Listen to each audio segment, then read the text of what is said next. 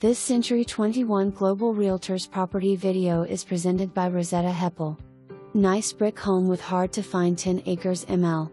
Sitting on the hilltop, this acreage has a beautiful view of the countryside. Located just one tenth of a mile off East Highway 33 on Highway 108 South makes this property easy access to Stillwater, Cushing, Perkins, and Guthrie. Home has over 1,800 SF roof is approximately 8 and a half years old, heat and air units are about 4 years old, seller to install a new kitchen stove before closing, new carpet installed on November 4, 2020. Almost all new interior paint and some new tile.